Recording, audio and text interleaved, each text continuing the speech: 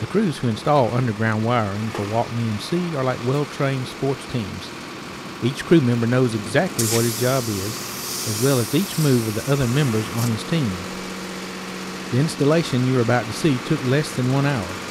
Crews install an average of six to eight underground services in one day. Journeyman line technician Larry Johnson kills the power to the worksite by using an insulated stick to remove the fuse from the underground transformer.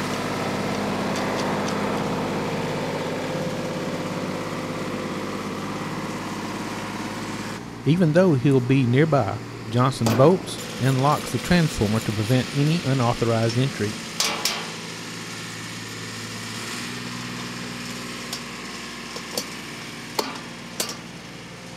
Line technician trainee John Anderson begins by using a small backhoe to open work areas at the street and meter ends of the service run.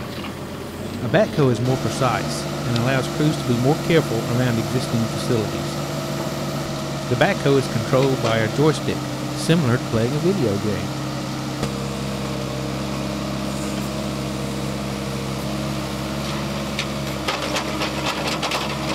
Equipment operator Arthur Thomas uses a trencher to complete the ditch. A moving chain provides a narrow, deep trench and piles the removed soil neatly nearby.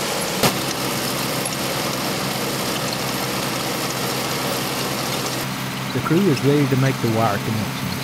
Line technician Johnson double checks to make sure the lines from the transformer are dead. He uses a special tool to remove the heavy insulation from the wire. The wire is joined using a special aluminum connector. The connector is filled with a compound to inhibit oxidation and is crimped onto the wire with several hundred pounds of force.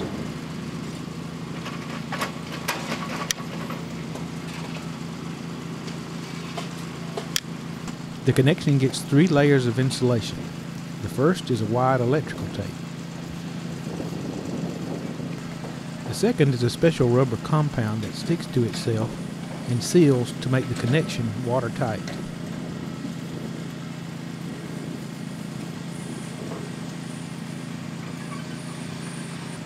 The final layer is regular electrical tape.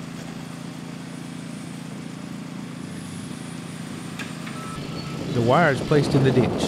Sometimes our crews are under contract to bury the phone cable at the Thomas is ready to connect the house end of the circuit.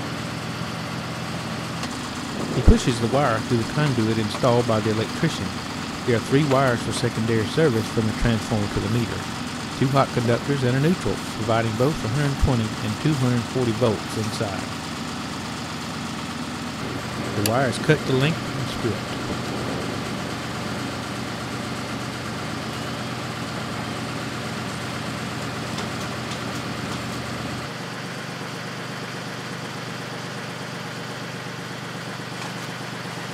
Antioxidant is applied to inhibit corrosion.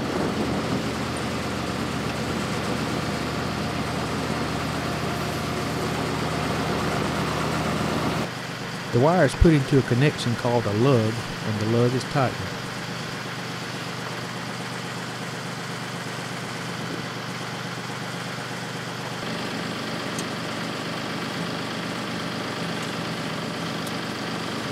The ditch is filled and packed. For EMC TV, this is Greg Brooks.